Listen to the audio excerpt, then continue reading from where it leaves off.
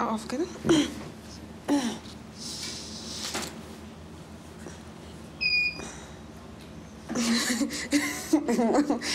مش ع... sorry مش ع... بس sorry يا جماعة. sorry أنا آسفة. مش مش أعمل إيه؟ أعمل إيه؟ مش عارفة. تعملي إيه؟ عادي مفيش حاجة. ما... مفيش لا اي حاجة خالص. خليك على طبيعتك عادي يعني. يعني إزاي ابقى على طبيعتي وأنا بتصور يعني.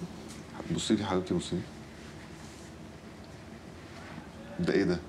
إيه؟ طب استني كده بس ارفعي دقنك بصي له وارفعي دقنك شوية؟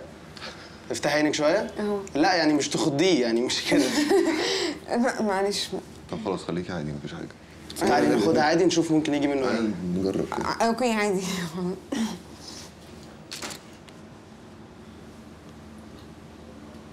ابص ابص تامر ممكن. ثانية؟ أوكي ثانية واحدة. الموضوع صعب.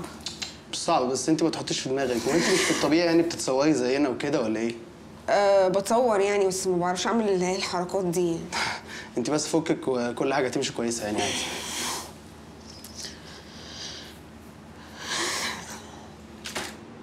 أنا بصراحة بعت الصور بتاعت هبة للبروديوسر. هي أول ما جت قالت إن هي ما تنفعش. فإحنا ممكن نكمل بالطريقة دي بس ما أعتقدش إن هو ممكن ينزل. طب سيبيني أنا أتكلم معاه. أوكي. زغدته في كتفه. قلت له عبد الهادي عبد الهادي ما ردش عليا. بص لي كده لفوق وقال لي إيه؟ أنت مين؟ قلت له أنا رجائي. فضل باصص لي مدة طويلة وراح سايبني وقايم وماشي.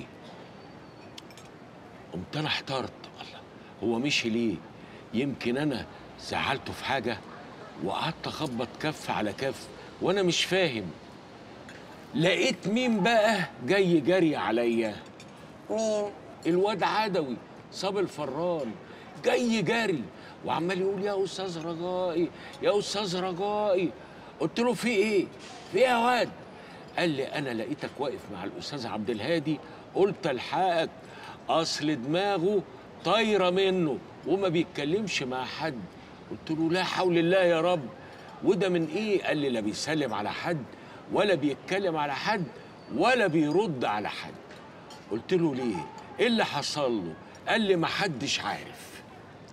يا حرام ربنا يشفيه ويزيح عني لا ده خلاص مات من تسع سنين. جاله أزمة قلبية وما لحقوهوش فيها. الله يرحمه.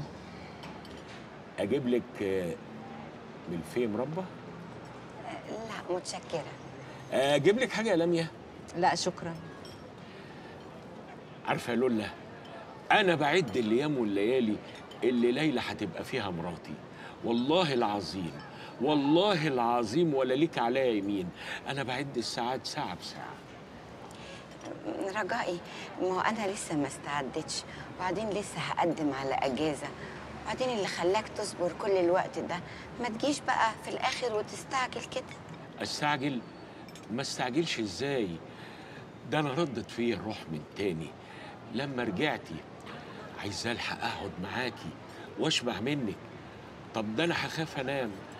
أحسن تيجي عليا لحظة ما أشوفكيش فيها. ربنا يخليك ليا يا رجائي. ويخليكي ليا يا أحلى ست في الدنيا. يا أجمل مرأة عين. عارفة يا لميا آه، أنا لفيت العالم كله. ما شفتش ست في جمال ليلى. ربنا يخليكوا لبعض. ربنا يهني سعيد بسعيدة. آه، طيب اقنعيها بقى تيجي معايا عشان تشوف الشقة وتشوف الفرش وتشوف كمان الفرش اللي هي عايزة تغيره. شقة؟ شقة إيه؟ الشقة اللي هنتجوز فيها أنا ورجائي يا لمي. أنت هتمشي وتسيبيني يا ليلى؟ تسيبك ده إيه؟ هي هتهاجر؟ لا. هي قاعدة معاكي هنا في القاهرة. لا أصل أنا طول عمري متعودة إن ليلى أختي معايا. ما أنا طبعا هكون معاكي برضه. يا ست ولا يهمك. هنعمل لك أوضة في الشقة تيجي تقعدي فيها وبراحتك.